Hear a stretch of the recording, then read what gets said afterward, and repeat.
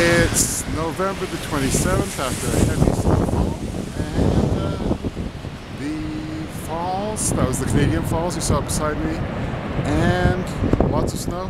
Nikola Tesla statue right there, famous guy. And back to the falls again. These are the Canadian Falls. Have a good day.